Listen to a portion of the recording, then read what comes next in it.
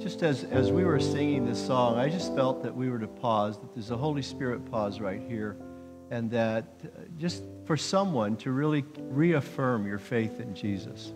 That maybe you're here, maybe you're watching uh, with us. That I just felt that there's a call of the Holy Spirit for someone to just recommit your life to Christ, to, to say enough doing whatever it is you're doing, or the doubts that you're living with, or the, the habits that you're letting control you, whatever it is, that you need to know that Jesus loves you.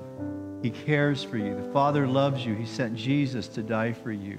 And as we've been reaffirming the tenets of faith in these songs, I just felt there's a, a, a pull of the Holy Spirit to invite you to say to Jesus, maybe for the first time, maybe you just are never have really made that commitment, or maybe you're as you're listening, there's a call to say, I'm not where God where I should be. I've wandered from my faith.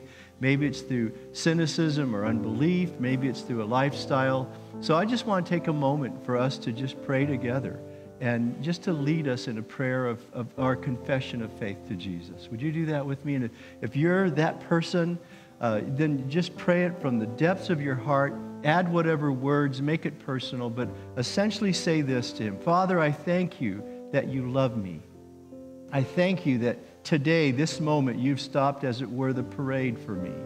You've stopped this service, you've stopped this event, and in the middle of it, you're making a call that you want me as your child. I thank you for forgiving me. I thank you that you love me no matter where I've been or what I've done or how I've spoken about you.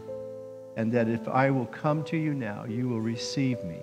So I confess that Jesus is Lord, that He died on the cross for my sins, that He rose from the grave to give me life, and He has sent His Holy Spirit to live and dwell in me until He returns or brings me to be with Him. So, Father, I thank you and I commit myself to you and I commit my life to you to be a follower of Jesus, a follower of the Word, to live led by your Holy Spirit in the communion of my brothers and sisters. So, Lord, I commit afresh my life to you today. In Jesus' name.